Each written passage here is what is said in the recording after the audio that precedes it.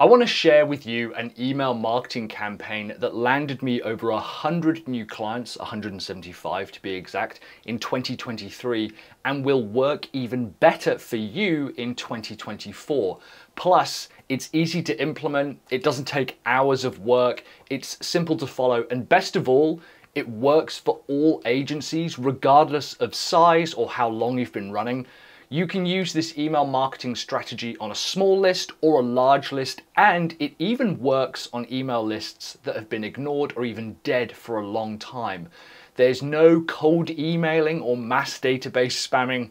I've used this exact same strategy to grow my email list size to the tens of thousands, plus landed real world sales for us totaling over $100,000 in revenue from email sales alone last year.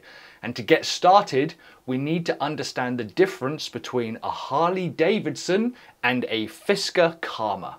So when it comes to email marketing, too many people start at the wrong end of the journey. Most people try to start with the best type of email campaign to run, or if there's like a new email style that seems to be very popular and they're starting in completely the wrong place. I want to tell you the story of two businesses, Harley Davidson and Fisker with their Fisker Karma. One of these companies started selling bicycles. They actually specifically started uh, selling engines that attached to like push bicycles. They were like these little one-stroke things that you would kind of bolt on and it would motorize a regular like bicycle, right? The other one wanted to sell high-end luxury electric vehicles. And in 1901, Harley Davidson basically created this kind of little like engine for push bikes. 2011, a company called Fisker released the Fisker Karma. Now, which one of these companies have you heard of? Which one of these companies do you think is the most popular brand tattoo on the planet? You see, Harley Davidson focused on their customers and building products for their customers. They started with individual engines, and it wasn't until much, much later, almost decades later, that they released their own motorbike, the thing they're most famous for. But that comes from listening to their customers. Fisker spent millions of investor money, raised capital on research and development, marketing, sales. They had a PR and branding team. They had an advertising campaign, media strategy. They had state of the art, cutting edge manufacturing. And when Fisker launched, no one bought their car. It had zero acclaim and they actually went bankrupt trying to kind of catch up with their sales. And they basically tried to get too big too fast. My point is that unless you have a product to sell, all of the research and development is worthless. So I want us to start with a sales page. This needs to be something that people can actually buy. The most important thing when it comes to email marketing is having a place where people can actually give you money. So if I draw a really simple like checkout here, you can see I'm a designer at heart. And then before that, we need to have a sales method. Now there are three kind of sales methods that I really like using. You have webinars, where people like join and you sell kind of en masse.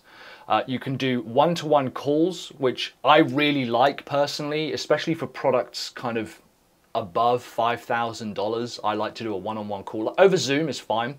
Or there is, like I said, the checkout page, uh, which we've kind of got here. But the important thing is no matter which sales method you use, you need to have a place for people to be able to give you money.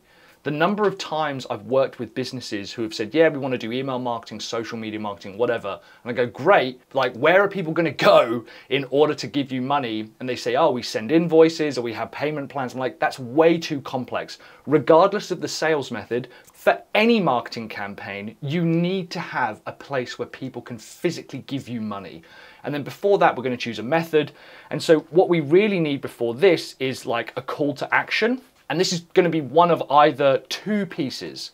You're either going to have a URL, like a, a link, or you're going to have a place for people to be able to book in um, like a calendar. And the calendar can work for the webinar or the call, but the link can work for the webinar or the checkout page as well. So you need to have these three things before we even think about creating a really clever email marketing campaign. So if we look at the email marketing campaign, We're going to build this out together now. In fact, if you grab a piece of paper, you could probably actually do this like live with me. I like to run in 10 day cycles. It gives me enough space to kind of test out different methodologies and we've been using this for a long time. We use it with our customers and like I said, we even use it on our cold and dead email lists to be able to sort of have people start responding. And what I want you to understand is that in those 10 days, we have five different types of email. I'm going to draw this little star here. S, S, S, S, and S. These five different types of emails are essentially the building blocks behind any type of email that you're going to send. How many times do you check Facebook? How many times do you check Twitter or X? How many times do you check your email? You check all these different platforms multiple times a day. You check your emails multiple times a day. And there are certain creators that you follow who you want to hear from, even two or three times a day. I want you to think about your emails like this. If you sent an email, and for every email you sent, the person who opened it had $1 immediately placed into their account, how long do you think it would be before they would unsubscribe? They wouldn't right? If anything, they'd be hitting refresh on their inbox being like, I hope they send another email because you're putting $1 into their account each time. My point is that people unsubscribe when the content isn't relevant to them, not to do with the frequency. If anything, like I said, there are probably creators out there who you want to hear from multiple times a day. All I'm saying is that do your emails have at least $1 dollar's worth of value. So if we come back to our types of emails, these are the different types. My first one is what we call a story. These can be things like anecdotes, they can be metaphors, sometimes like hearsay, maybe bordering on gossip. Origin stories are quite good, like you telling things about your past, just daily life. Behind the scenes is, is pretty useful as well. Maybe there's something that you've been taught. Um, and the best type of story is a case study. These are almost like mini blog posts. Now, for anyone who subscribes to my newsletter, you know that sometimes the emails are a few paragraphs. Sometimes I'll write the entire blog post in there and just send it out.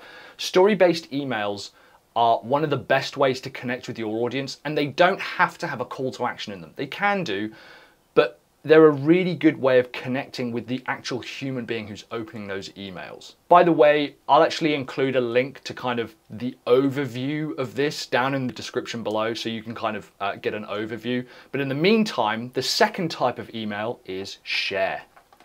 Share emails are when you're taking content on another platform, like past content. Maybe it's content that you've found. Maybe it's like a video on your YouTube channel. Roundups also work really well. Maybe you've got the five best books on how to manage your money or the five best TikTok accounts to follow for, you know, new marketing strategies or whatever, and putting them in. This is sharing either your content or other people's content. Again, this is a very easy type of email to create. It's one of the easiest ones to outsource, but it's also a really good way of beginning to push people into other media that you might have. The third type of email is what we call a segmentation email.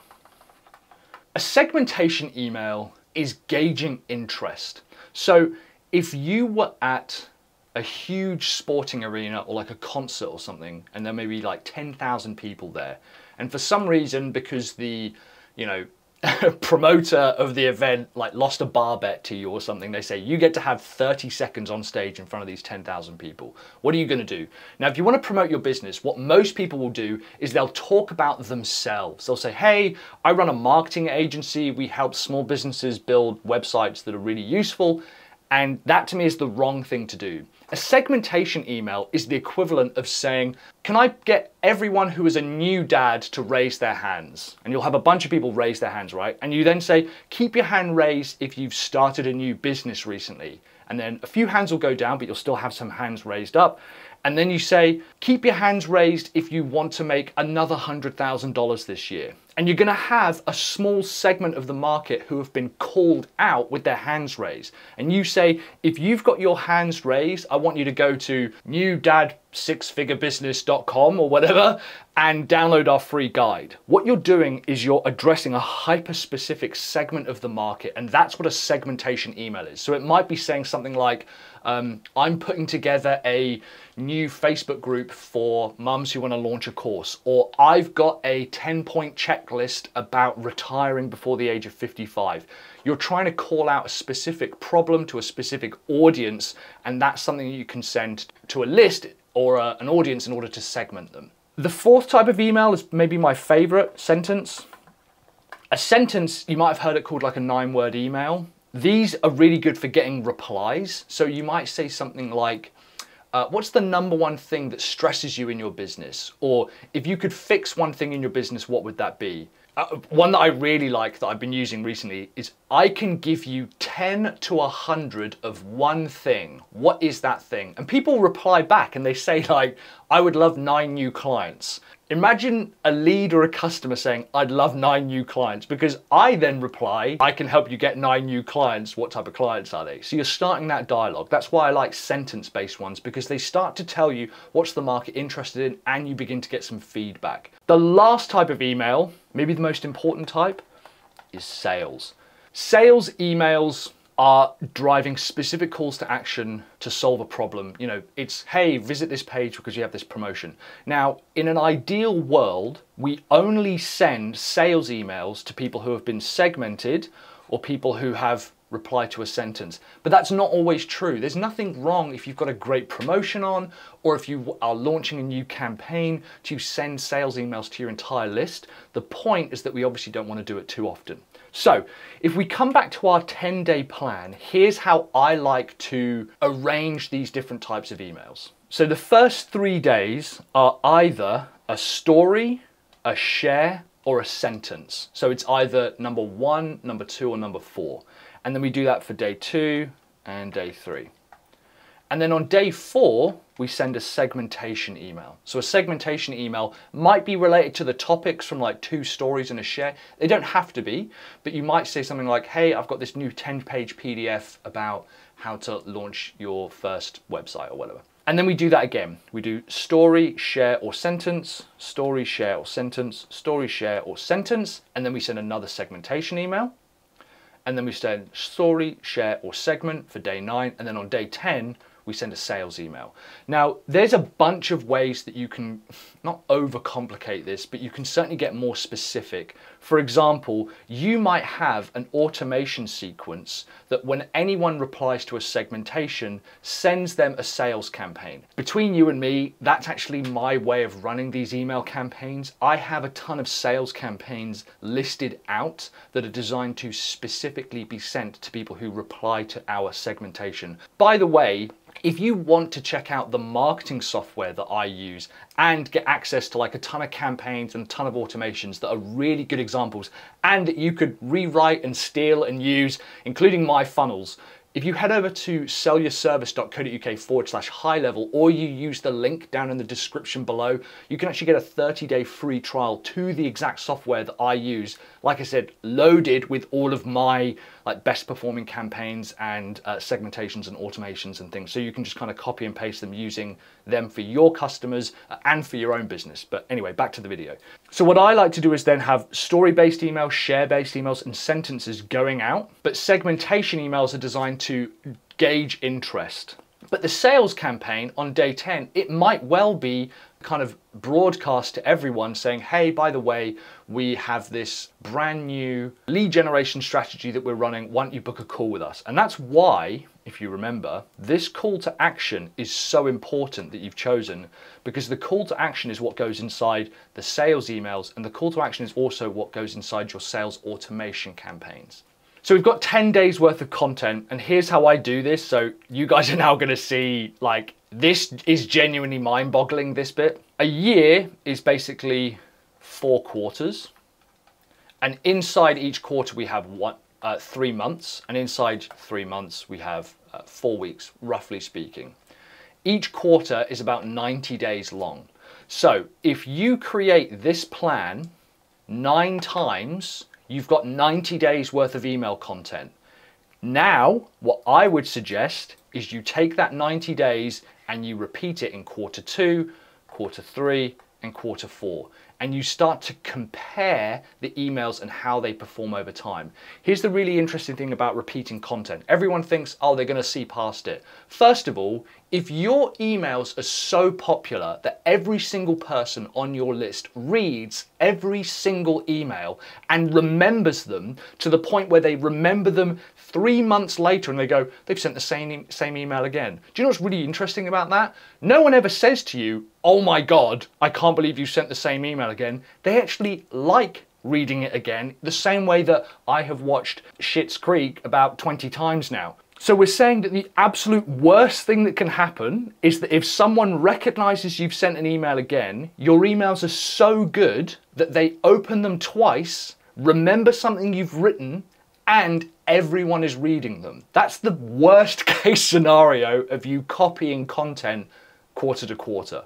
The reality is no one's going to do that. No one's going to even notice. Maybe once a year or twice a year you refresh it. That's up to you. That's what we do.